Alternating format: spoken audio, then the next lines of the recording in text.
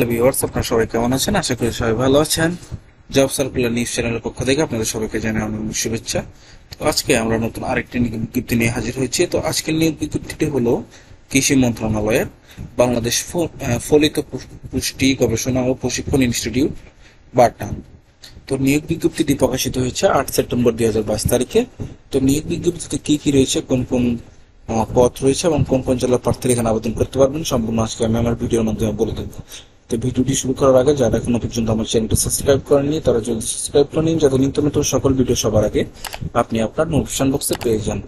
তো দেখুন, প্রথমে এখানে বলেছে বাংলাদেশ ফলিত পুষ্টি গবেষণা ও প্রশিক্ষণ ইনস্টিটিউট বা টানের অধীনস্থ রাজস্বভুক্ত নিম্নবর্ণিত নয়টি ক্যাটাগরিতে মোট চল্লিশটি শূন্য পদে জনগণ নিয়োগের নিমিত্ত বিজ্ঞপ্তি বর্ণিত নিয়মাবলী ও সত্য সাপেক্ষে বাংলাদেশ প্রকৃত স্থায়ী নাগরিকদের নিকট হতে অনলাইনে এই ওয়েবসাইটের মাধ্যমে আবেদনপত্র আহ্বান করা যাচ্ছে। অনলাইন ব্যতীত কোনো আবেদন গ্রহণ করা হবে না। তো এখানে যে পদ প্রথমে পদের নাম, জাতীয় বেতন স্কেল দুই হাজার পনেরো অনুযায়ী বেতন স্কেল ও গ্রেড।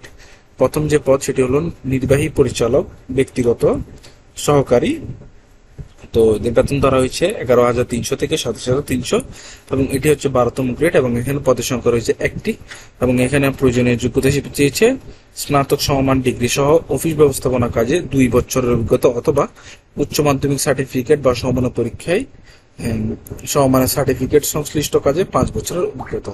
তো সকল জেলার প্রার্থীগণ এখানে আবেদন করতে পারবেন।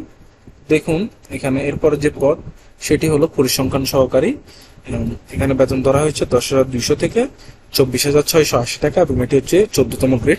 এবং এখানে পদের সংখ্যা রয়েছে দুইটি এবং এখানে প্রয়োজনীয় যোগ্যতা হিসেবে চেয়েছে গণিত বা পরিসংখ্যান বিষয়ে স্না- স্নাতক সমমান ডিগ্রি সহ কম্পিউটার প্রোগ্রামিং এ অভিজ্ঞতা। এবং এরপরে যে পদ সেটি হলো কারখানা সহকারী এবং এখানে বেতন ধরা হয়েছে দশ হাজার দুশো থেকে চব্বিশ হাজার ছয়শো আশি টাকা এবং এটা হচ্ছে চব্বিশ গ্রেড। এবং এখানে পদের সংখ্যা রয়েছে দুইটি। এবং এখানে অভিজ্ঞতা হিসেবে চেয়েছে স্নাতক সমমান ডিগ্রি সহ গ্রন্থাকার বিজ্ঞানে ডিপ্লোমা অথবা স্নাতক সমমান ডিগ্রি সহ লাইব্রেরি কাজে দুই বছরের অভিজ্ঞতা।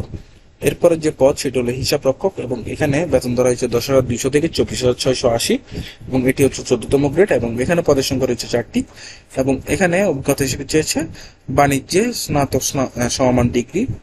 এরপরে যে পদ সেটি হলো ফটোগ্রাফার। এখানে বেতন ধরা হয়েছে দশ হাজার দুইশো থেকে চব্বিশ হাজার ছয়শো আশি টাকা এবং এটিও চোদ্দতম গ্রেড এবং এখানেও পদের সংখ্যা রয়েছে একটি। এখানে যোগ্যতা হিসেবে চেয়েছে, স্নাতক সমান ডিগ্রি সহ আর্ট ও ফটোগ্রাফিতে অভিজ্ঞতা। এরপরে যে পদ, সেটি হলো ডাটা এন্ট্রি কন্ট্রোল অপারেটর এটি হচ্ছে ষোলোতম গ্রেড এবং এখানে বেতন ধরা হয়েছে নয় হাজার তিনশো থেকে বাইশ হাজার চারশো নব্বই টাকা এবং এখানে পদের সংখ্যা রয়েছে একটি এবং এখানে প্রয়োজনীয় যোগ- যোগ্যতা হিসেবে চেয়েছে সরকারি প্রতিষ্ঠানে কম্পিউটার পার্সোনাল নিয়োগ বিধিমালা দুই হাজার উনিশ অনুসারে।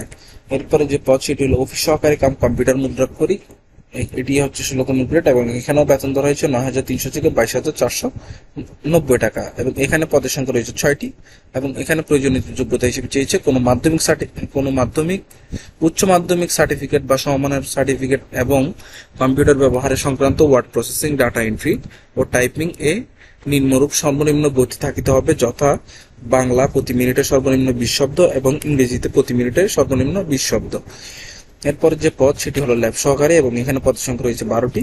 এবং এখানে বিজ্ঞান বিজ্ঞানে দ্বিতীয় বিভাগ বা সমমানের সিজিপিএ তে উচ্চ মাধ্যমিক সার্টিফিকেট বা সমমানের পরীক্ষা উত্তীর্ণ। এরপর যে পদ, সেটি হলো মাঠ সহকারী এবং এটি হলো ষোলতম গ্রেড। এখানে পদের সংখ্যা রয়েছে এগারোটি এবং এখানে বিজ্ঞানের দ্বিতীয় বিভাগ বা সমমানের সিজিপিএ তে উচ্চ মাধ্যমিক সার্টিফিকেট বা সমানের সার্টিফিকেট। তো দেখুন, এখানে তারা কিছু নির্দেশাবলী দিয়ে রেখেছে, সেগুলো হলো আবেদনকারী বয়স তিরিশ এক তিরিশ নয় দুই হাজার বাইশ তারিখের মধ্যে। আপনার সর্বনিম্ন আঠারো বছর বয়স হতে হবে এবং সর্বোচ্চ তিরিশ বছর বয়স হতে হবে।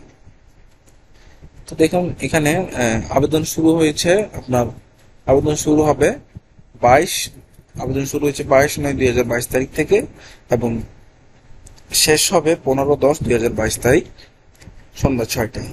তো আবেদন করতে যা যা লাগে দেখুন, আপনারা এখান থেকে চাইলে দেখে নিতে পারেন। অথবা আমি ডেসক্রিপশনে সার্কুলার লিঙ্ক দিয়ে রেখেছি, আপনারা চাইলে সেখান থেকে সরাসরি ডাউনলোড করে দেখে নিতে পারেন। তো দেখুন, এখানে বলেছে যে এক থেকে নয় নং পদের জন্য একশো এবং চারশো বারো একশো বারো এবং আপনার পরের যে পদ